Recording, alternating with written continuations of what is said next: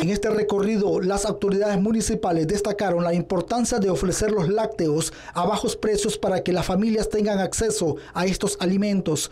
Tenemos la libra de queso seco a 55 por mayor, a 56 por libra.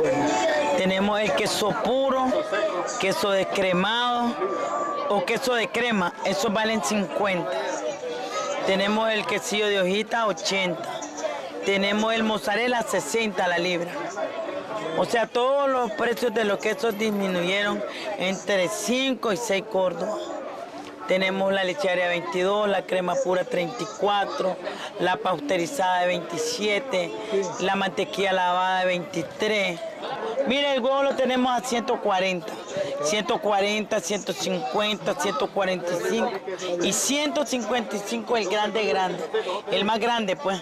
O sea que ya el, el huevo bajó entre 5 y un poco más. Reina Rueda dijo que en Managua el mercado Iván Montenegro es como referencia cuando se habla de queso. Aquí, divino, ¿eh? ya nosotros le hemos recomendado en otras ocasiones aquí lo que es el queso, lo que es la crema, todo lo que son los lácteos, aquí las familias desde las 12 de la noche ya están bajando sus productos para que las familias muy temprano puedan venir a adquirirlo y sobre todo los buenos precios que se mantiene aquí, ¿verdad? En cada uno de los productos. Pero allí se venden otros productos.